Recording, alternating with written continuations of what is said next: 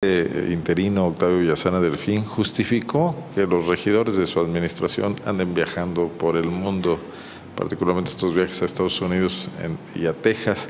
Dijo que es necesario que el municipio fortalezca su relación con ciudades hermanas y busque otras más.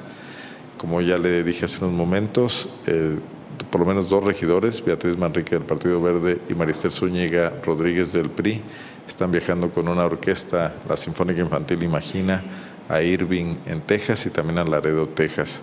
Los gastos serán solventados por el gobierno municipal, también irán el perista Alejandro Conhauser y el verde ecologista Miguel Ángel Valderas junto con el propio alcalde. Al respecto, Octavio Villasana comentó que este viaje traerá beneficios para el municipio. Esto es lo que dijo hoy.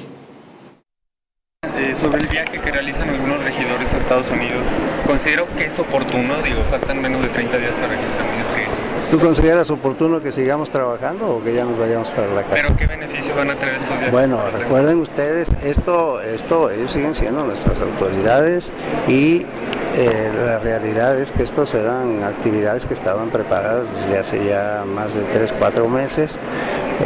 Algunos de ellos eh, van acompañando a nuestras, a nuestras orquestas que nos van a representar, van a representar a la ciudad de León. Entonces ellos van acompañándolas, van a fortalecer las relaciones con ciudades hermanas y van a tratar de hermanar ciudades nuevas, como es el caso de Miami.